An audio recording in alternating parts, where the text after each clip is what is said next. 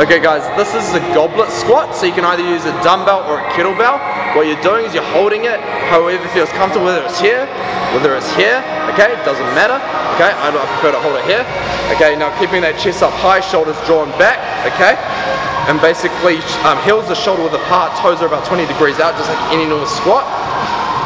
Sitting backwards, first movement is a hip hinge, sitting backwards, knees track outwards, sitting down, chest up, hips come down all the way down to the crease in the knees and you're coming up squeezing the bum at the top making sure we're not getting butt winks so bums not coming underneath our hips at the bottom okay?